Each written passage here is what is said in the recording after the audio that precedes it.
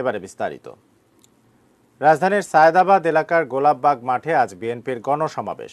পুলিশের অনুমতি পাওয়ার পরপরই গতকাল বিকেল থেকে নেতাকর্মীরা সেখানে জড়ো হন। গতকাল গুলশানে সংবাদ সম্মেলনে বিএনপির স্থায়ী কমিটির সদস্য ডক্টর খন্দকার মোশাররফ হোসেন জানান, সমাবেশে বেগম খালেদা জিয়ার মুক্তি সহ দশ দফা কর্মসূচি ঘোষণা করা হবে। এর আগে ডিএমপির ঊর্ধ্বতন কর্মকর্তাদের সঙ্গে বৈঠকের পর বিএনপির vice chairman doctor A Z M Zahid Hossain Golapbag মাঠে গণসমাবেশের অনুমতি পাওয়ার কথা নিশ্চিত করেন। জানান, পুলিশ গোলাপবাগ মাঠ ব্যবহারের অনুমতি দিয়ে সার্বিক নিরাপত্তা নিশ্চিত করারও আশ্বাস দিয়েছে।